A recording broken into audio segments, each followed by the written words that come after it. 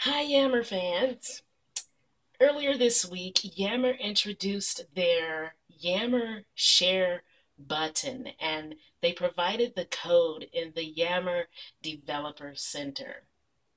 So I added it to my website in development and it was insanely easy to implement. So I thought, um, since I'm updating my production website, I'll go ahead and record what I'm doing since there was a question about the amount of time it takes to add this share button to your own site. So let's get started.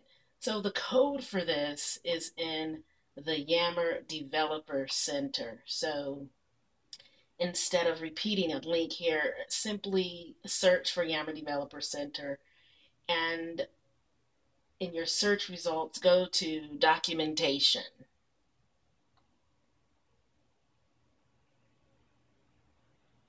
Now scroll down to social actions Yammer share. Now when you select Yammer share,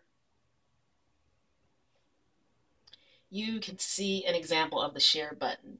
And the code that they have provided is listed as well. So there's two sets of code. The first set of code is the code that you'll place on your site in the location where you want your button to appear. So since I've got that highlighted, I'll go ahead and copy that because all I'll need to do is copy and paste this text. The second set of code you'll simply need to add to the bottom of your web page before you get to the body tag. So let's do that. So let's hop on over to my website to see where I want to add my button. Cast this tab. So here is my website and I have a sentence here. Like this site, share a link to this site in your Yammer network. And I want the button to appear just below this sentence, and I want it to be centered.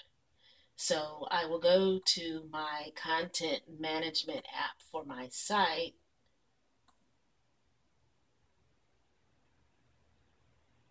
And uh, I'll scroll down to where I have that text. So here you see like this site, share a link to this site in your Yammer network. So in all fairness, I must say that I, I went ahead and added the center tags in anticipation for this video. So I'm going to paste that first set of code right there between my center tags because I want my button centered. Okay, now I need to go back to the Yammer Developer Center to get that second set of code. Fair enough. So let me copy that text and go back to my content management app